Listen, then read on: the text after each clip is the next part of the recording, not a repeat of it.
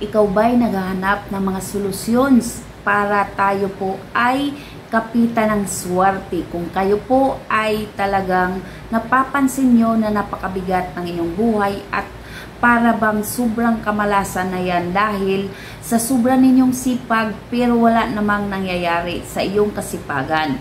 So, nandito na naman si April ngayon para mag-share na naman ng mga iba't ibang mga pamamaraan para tayo po ay kapitan ng swerte. Pero kung bago pa lang kayo sa ating YouTube channel, huwag niyo pong kalimutan na pindutin ang ating subscribe button sa baba nating video upang lahat ng ating video ay kayo na rin ang unang manotificate nito. At Stay so, tuned. ang aking isi-share ngayon sa inyong mga mamis ay ang ating mga pamamaraan para tayo po ay kapitan ng swerte. At para naman makalaya na tayo sa kahirapan para mapalayas na natin ang mga negatibo sa loob ng ating tahanan, ang mga negative vibes na yan na nagdadala sa atin ng kamalasan.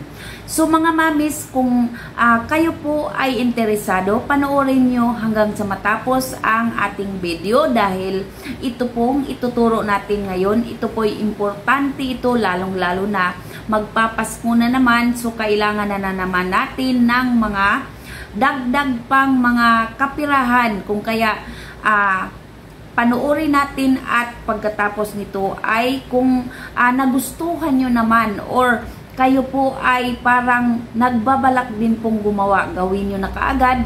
Pero ang unang-una nating gawin sa ating uh, loob ng tahanan ay uh, pansinin natin ang lahat ng ating mga kagamitan. Kung wala bang nagtatambak dyan na hindi natin mga ginagamit, ay itatapon na natin. At yung ating mga baso, ang ating mga plato, ang ating mga kutsara, kung mayroon ng mga sira-sira dyan, ay itapon na rin natin para pagba, pagpasok uh, ng uh, panibagong taon na naman mga mamis ay puro kasaganaan na lang ang ating makamtan. Tanggalin natin ang ating mga plato na mayroong mga crack, mayroon ng uh, na nag uh, mayroon ng basag, tanggalin na natin, wag na nating i-keep yan.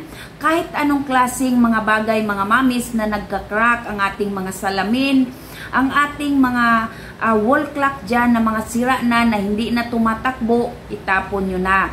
Dahil yan po ay isa rin pong nagdadala yan ng uh, mga hindi magagandang bagay sa ating buhay. Kahit gaano natin kasipag, kung meron tayo ng mga bagay na yan, tiyak na hindi tayo makaahon sa paghihirap. Yan po ay magdadala pa sa atin ng dagdag pang kahirapan. Kung kaya itapo na natin lahat na yan dahil yan ay nagdadala ng hirap sa atin. Mga salamin natin na may crack na itapo na ninyo kaagad yan. Huwag nyo nang uh, padikitan pa ng kung ano-ano para hindi siya mabasag ng tuluyan. Mga mami, sinasabi ko sa inyo na ang mga bagay na yan ay napakamalas yan sa loob ng ating tahanan. So, ang ating gagawin ay linisin natin ang lahat-lahat sa loob ng ating tahanan. Ano man ang mga bagay na hindi na natin ginagamit, ay wag nyo nang ipangtago yan, itapon nyo na yan or ipamigay nyo na kung mapapakinabangan pa sa iba. At uh, maglinis tayo. Pagkatapos nating maglinis ay maglinis uh, atin nang i-arrange yung ating mga gamit. Yung mga gamit na pwede pa nating gamitin na hindi naman kailangang itapon ay ipwesto sa dapat nating paglagyan. Kailangang naka-arrange. Pagkatapos nating i-arrange yan, gagawa na tayo ng mga pamamaraan para uh, matanggal yung mga kamalasan natin sa loob ng ating tahanan.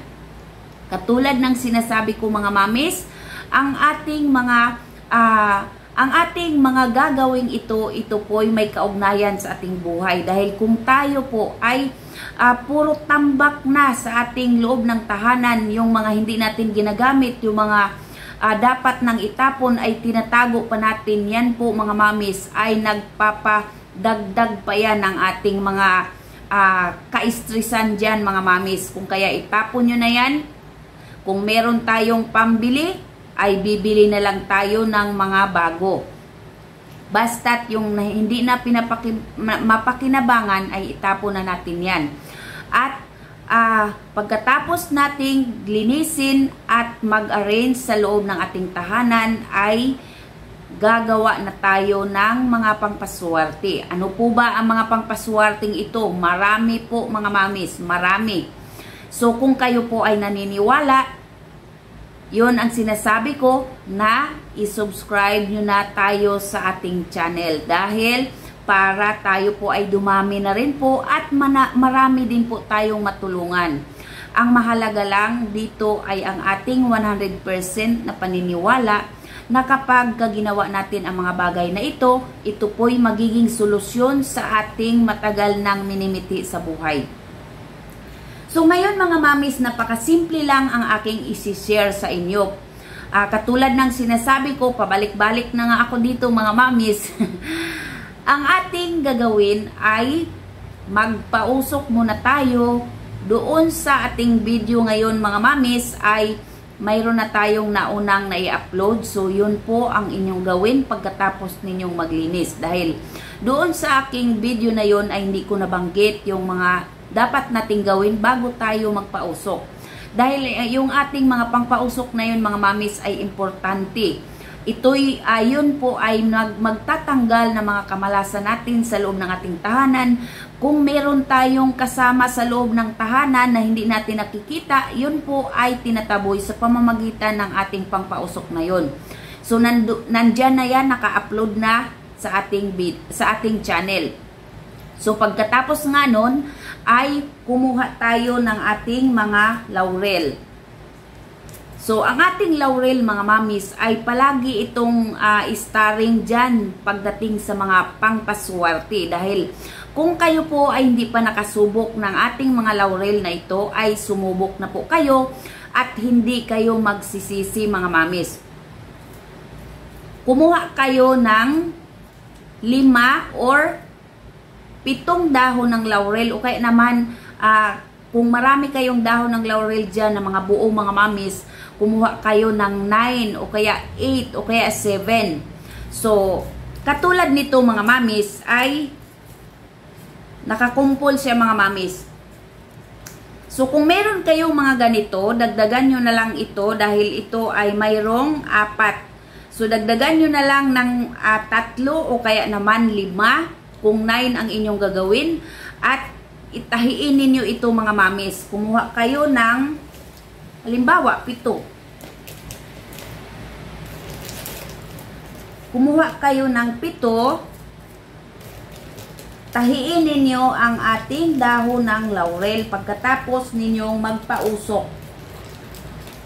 Pagkatapos ninyong magpausok, pagkatapos ninyong gawin yung ating unang na-share na video, ay magpausok na nga kayo ng ay hindi magpausok mga mamis magtahi tayo ng ating mga dahon ng laurel. So, ito po siya ay 7 leaves na. So, ang 7 leaves na ito mga mamis ay tahiin natin sa isang pula na uh, sinulid. Tahiin natin ito at pagkatapos nitong ninyong tahiin, ilagay nyo ito doon sa ating uh, main door. Ipa ipa ano niyo doon ipa, basta't ipalawit niyo lang mga mamis dahil pinapaniwalaan na kapag tayo po ay naglagay nito sa ating mga mendor ito po'y mag uh, tatanggal ng mga kamalasan sa loob ng ating tahanan. Kung halimbawa meron kayong mga tindahan dyan mga mamis pwede rin po kayo magsabit nito sa inyong mga pintuan. At ang pagsabit natin ito mga mamis ay doon natin siya isabit sa labas ng ating pinto Hayaan nyo na yung mga tao, yung mga kaibigan nyo, kung magtatanong kung bakit kayo nagsasabit niyan, wag nyo nang, uh, kayo nang bahala ang magdadahilan. Basta't subukan nyong gawin ito mga mamis. At basta't unahin nyo muna ang ating mga nabanggit. Linisin lahat yung loob ng ating tahanan, tanggalin ang mga basag-basag, itapon yung mga hindi na napakinabangan na mga wall clock na hindi gumagana dahil yun po ay nagsisimbolo nang hindi ninyo pag-usad sa inyong buhay. So, yun na nga mga mamis, ang ating gagawin, isabit na natin ito after nating magpausok sa loob ng ating tahanan para kasabay niyan pat tatanggalin natin yung mga kamalasan sa loob ng ating tahanan, papalayasin natin sa pamamagitan ng ating mga pangpausok na yon. At pangalawa, mag-attract tayo ng mga swerte na papasok sa loob ng ating tahanan. Tingnan ko lang mga mamis kung hindi kayo magugulat sa mangyayari sa inyong buhay.